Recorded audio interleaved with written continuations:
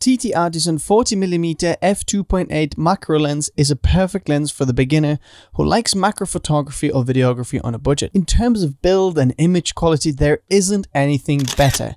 It's sharp even at wide open, very little vignetting and chromatic aberration. That is especially amazing for the price, which is only 150 pounds.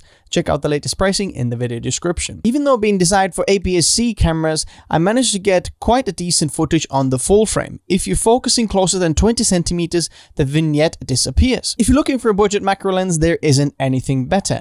Now, some of the downsides. I'm not keen on the screw-on cap. The lens has heavy focus breathing and loses light when focusing closer, but that's kind of normal for macro lenses. And lastly, it's 100% manual, so no autofocus help here. Other than that, it's a great lens and I would call it the best bang for buck in its price category. Check it out in the video description below.